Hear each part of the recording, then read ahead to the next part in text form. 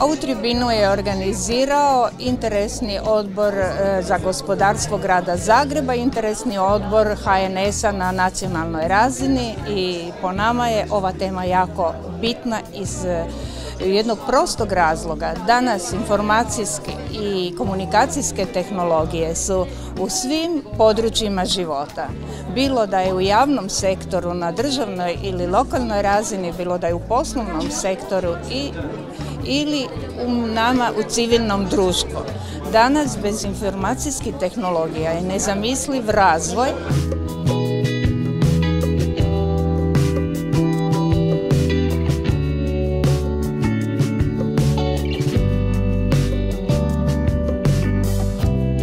Digitalna ekonomija je trenutno top tema u uniji. Digitalna ekonomija je ime za novu ekonomiju i nova radna mjesta velikim dijelom otvarat će se upravo na ovom području. Ono što je HNS-u tu izuzetno važno, riječ je o ekonomiji koja direktno djeluje i na kvalitetu života i na standard građana, koja direktno odgovara na mogućnost zapošljavanja mladih ljudi u ovom području, a riječ je i o najbrže rastućem dijelu europskog gospodarstva.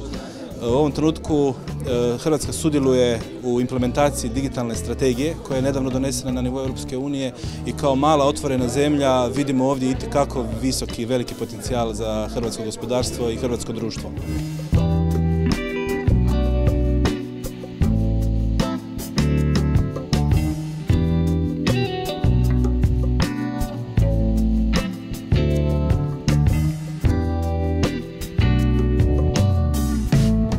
Danas predstavljamo novu strategiju Europske unije o digitalnom jedinstvenom tržištu.